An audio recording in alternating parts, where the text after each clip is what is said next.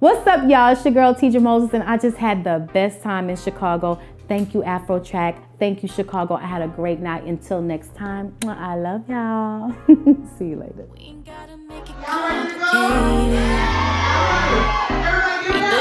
It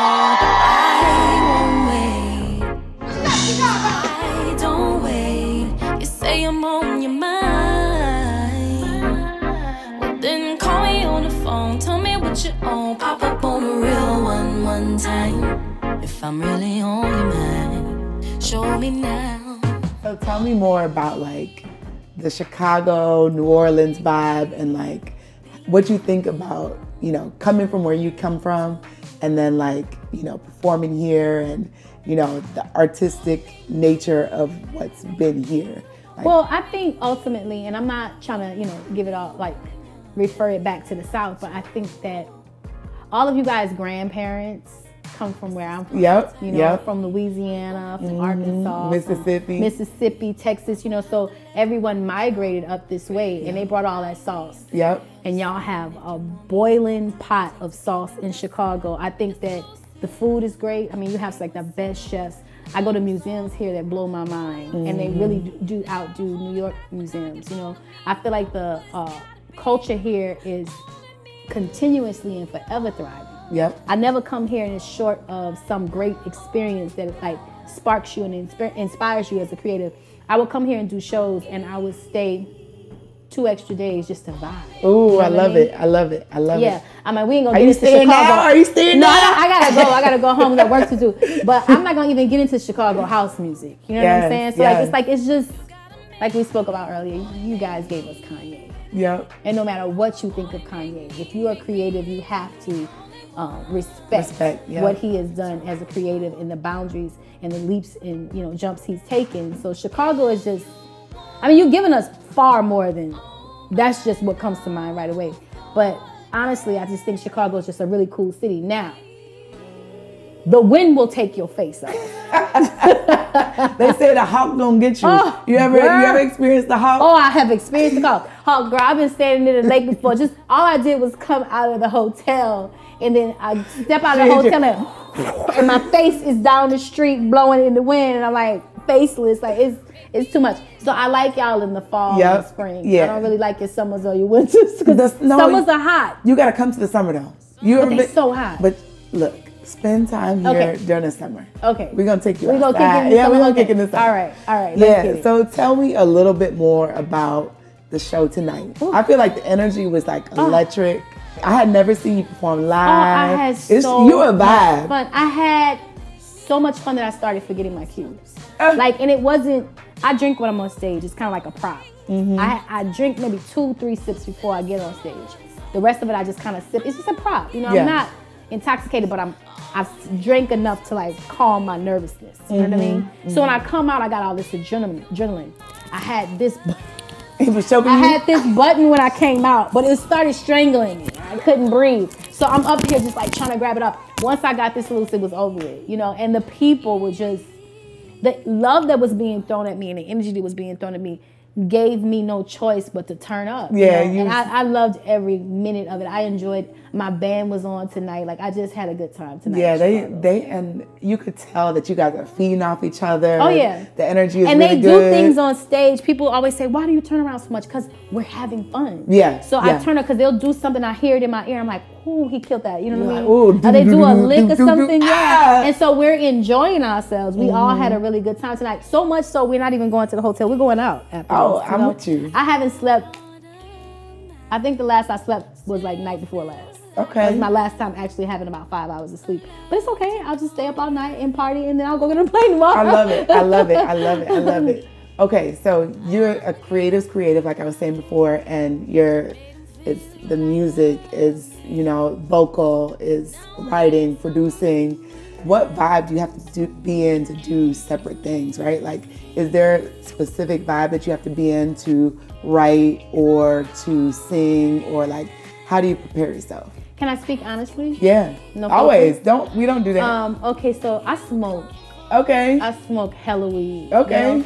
And to be honest with you, I've, I have like anxiety and stuff, and like you know, I'll get blockage sometime when I'm trying to create because I'm thinking too much. Mm-hmm. And I just have this habit of smoking. If it's music, then I'll put on a track, or sometimes I'll smoke with no music and the songs start to come to me. Mm-hmm. It's just a trigger. The smoking triggers like openness. Like freeness. Yeah, it Yeah. kind of lets lets all the guards down, and then anything is free to come to my mind and for me to like begin a creation of something. It's- I mean, I can draw as well, and I'll just sit there and I'll just smoke and just be vibing, and all of a sudden I feel my hand moving. You know, it's just like I think um, I can do anything creative without smoking. But I think doing it with smoking just makes it more fun. You know what I'm saying? It just relaxes Did me. you smoke before the show today? Nah, I don't smoke. I don't smoke before shows. Oh, so so when you're singing, you. Yeah, because Yeah, okay. like I said, tonight I got so comfortable and so free. I started like thinking we was in my living room. So if I smoke, I'm gonna get too loose. And Okay. I might just like go off. You know, this is a show and it's a job, so Yeah. I can't smoke before I go stage. But I do drink just to like loosen, Loosen my mood. You know, yeah. Mm-hmm. and it's not a lot of drinking. I drink one glass of something. You know, I'll drink more later, but I like to get on stage with enough control, but relax a little bit. Mm-hmm. But when I'm creating music or drawing, or I like interior design, I like um, redoing furniture and stuff like that. I think if you're creative, you can work in any medium. I think Mm-hmm. that you can do anything. You just have to focus in to do it. You know.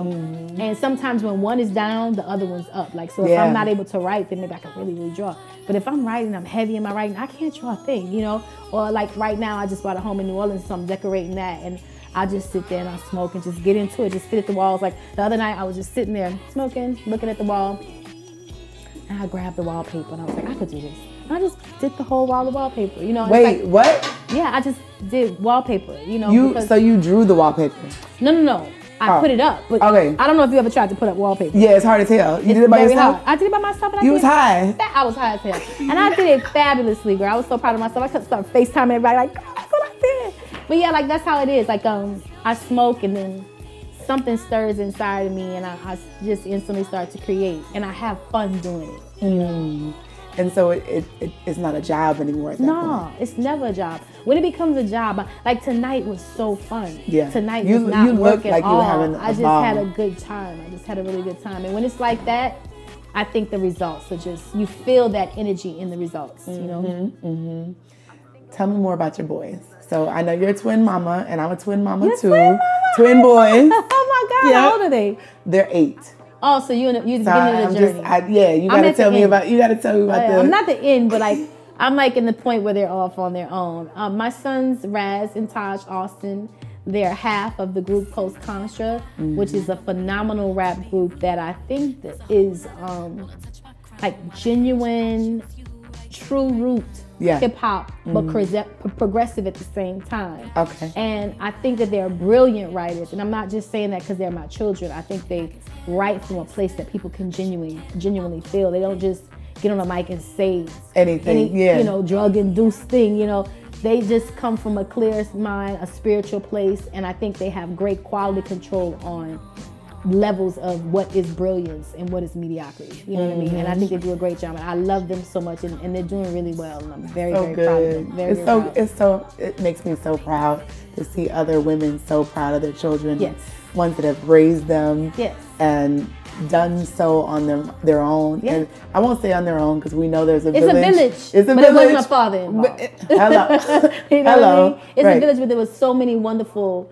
Their, my their uncle, my brother was there. Their uncle, my brother-in-law was there. You know what I mean? And so they had a lot of love around them, and that love still supports them to this day. The same love that supported me to be a creative is the mm. same love from uh, supporting them to be creative. And our family is not like you're gonna be an artist. It's like, oh, okay, come on, let's do Yeah, it. it's like, what do we you got? understand what it is. We understand that this is something that's passed on generationally. Generationally, my mother was an artist as well. She was a gospel singer. She did pottery. Like we're just creatives, and I understand that's part of like our ministry. Yeah. You know, yeah. our family ministry is to do to be creative. And I want to say this too. I was proud of my sons before anybody ever knew who they were. I was extremely proud of them because you know why? They're good young men.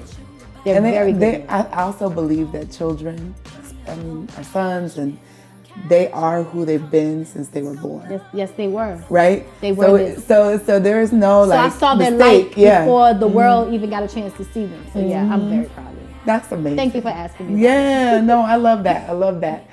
Okay, so you got to tell me about this.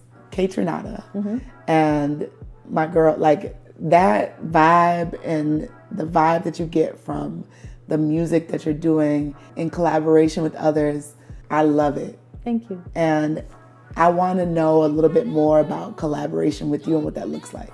And like how how, how how it starts, like how It's it, extremely organic. Mm-hmm. I can't force it. Okay, so I'm gonna say something that sounds really vulgar, but it's not.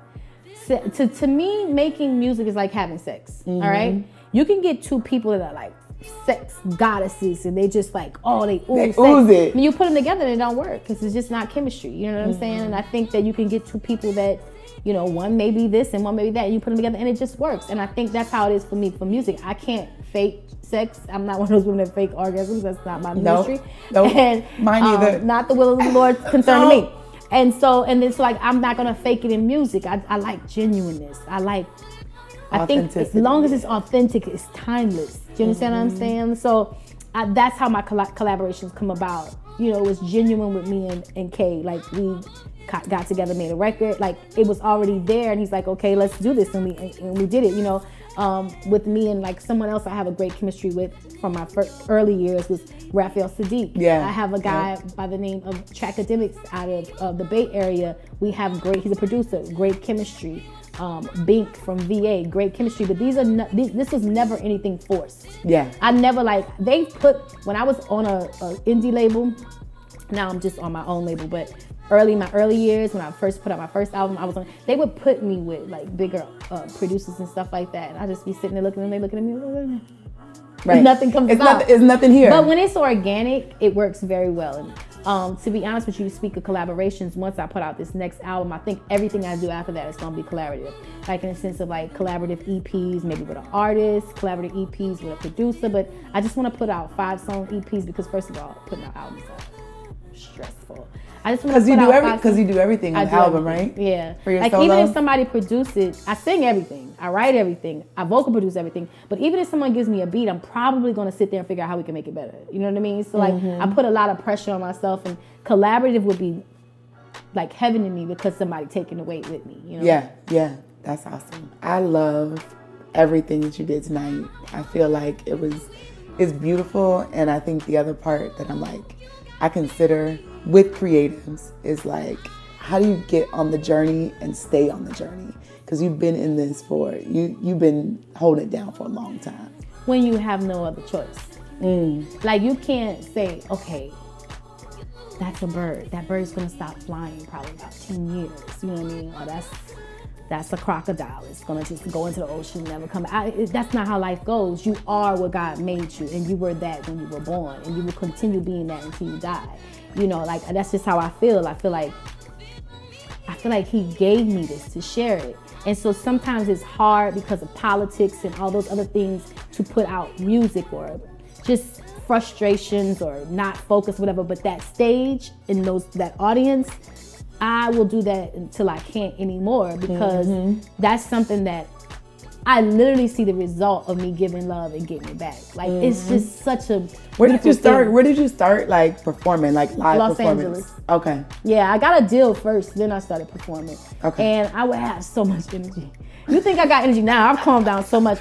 I literally used to look like a rapper on stage. You like was in just there like- so much energy, so much energy, and I've calmed it down now. But I've always just had a high level of energy, which was kind of contradictive to my t- my style of music. Right. It's so mellow. Right. But I'm I'm a fire sign, a Sagittarius. I'm nothing about me is mellow. I'm so lit, girl. Oh, like I'm an literally. Aquarius. Ah, my Yeah. sisters, my mother was like, I get along with everybody. Yeah. I'm one of those signs that's kind of like, I get, I'm flexible. I get along. Yeah. Sag is so you guys are so you guys are We're obnoxious sometimes, but, but we cool though.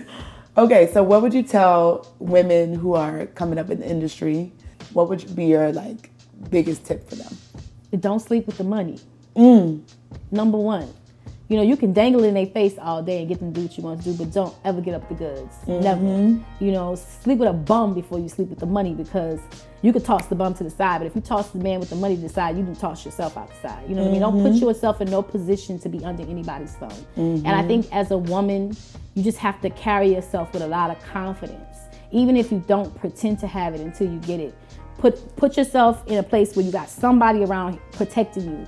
because you are vulnerable when you're a young woman. You know what I mean? As you mm-hmm. get older, you you're not as vulnerable because you you're tougher. Your skin's tougher, but you know, put put find people around you that are gonna protect you and you get to be vulnerable without being taken advantage of. But don't sleep with the money. Don't sleep mm-hmm. with nobody in a position to get you some money. Get the mm-hmm. money. Don't sleep with them. That's Yeah. my number one thing. Is I think women in music they get in they get into these relationships with people or you know you start off collaborating and it feels like it should be love but it's, It's- really it's a just thing, creative right. Mm-hmm. collaboration and you have to understand the difference between those things and i see a lot of young women and uh, women my age get caught up in uh, you know In mixing bu- it up in the bullshit. the bullshit girl for real and that's not that's not conducive to what we need to be doing to accomplish what god has put us out here to do i mean do what you want have fun and whatever blah blah but focus on your mission at hand so don't mix that up that would be my mm-hmm. thing mm-hmm. Well, I love talking to you. Thank you so much. you too. Thank you for coming to Chicago. I appreciate it so much. I absolutely enjoyed Chicago. I think this was one of my most fun shows um, since the first show I did since I've been back in New York City. You guys like really, really, y'all blessed my soul tonight. Well, thank you, thank you, thank you I so much. appreciate it. Aw, twin moms. Twin mamas.